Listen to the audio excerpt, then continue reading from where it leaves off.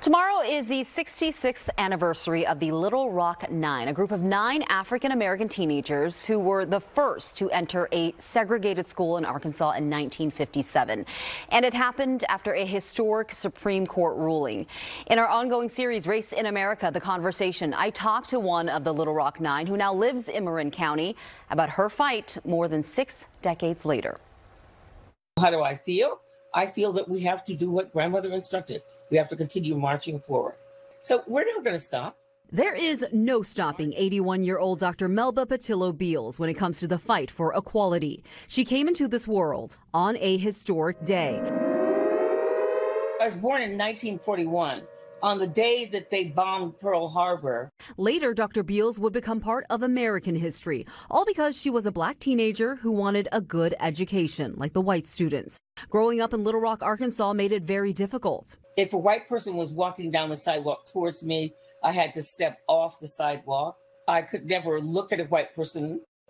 You could not go to their bathrooms, drink out of their water fountains. I saw a man hanged to the top of my church.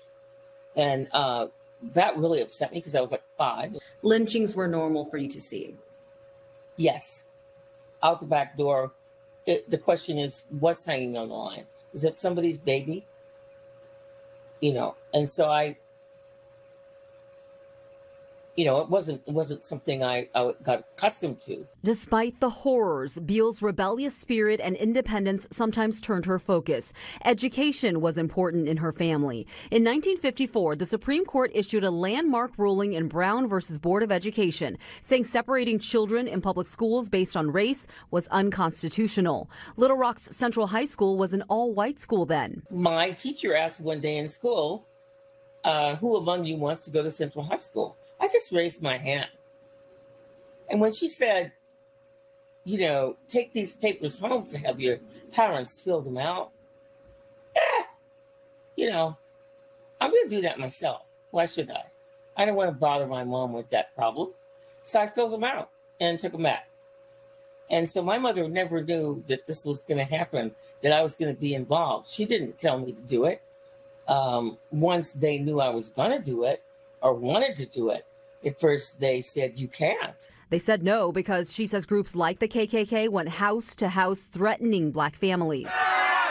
Now, here's what you have to get is that we were nine people. When we started out, there was 114 of us. So those 114 were talked down to nine by the people visiting, by the threats.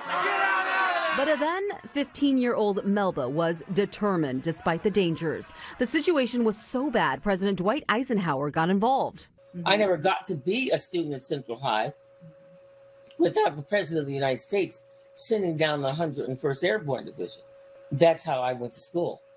Like soldiers go to war, is how we went to school every day. She would only attend Central High for a year before coming to California. The NAACP decided that they had to get us out of there because the Ku Klux Klan had $10,000 dead, $5,000 alive on our heads. They found cities for each one of us to go to. The Santa Rosa NAACP was white folks. And so they bid for me, they got me, and that's how I got to California. Beals got her education. She became a journalist, an educator, and award winning author. Now we're in a situation where they're trying to pretend like Central High School didn't happen. Dr. Beals is talking about a recent decision from the Arkansas Department of Education that puts restrictions on an advanced placement African American studies course. Several schools have said they will teach the AP course despite the state's objections. I'm 81. I've carried the banner this far, and I have eight colleagues who've done the same. You just create warriors, and that's who we are warriors. And, and I'm going to do what my grandmother said march forward. I really just am so inspired by you, Dr. Beals, and I'm, I'm glad to know you now and to have this moment to speak with you. I'm, I'm very honored. Thank you. Thank you for the opportunity. Every time we can get the word out that we're not going to crawl, it's a really good thing. Oppression is just a lovely big word, but it does not apply everywhere.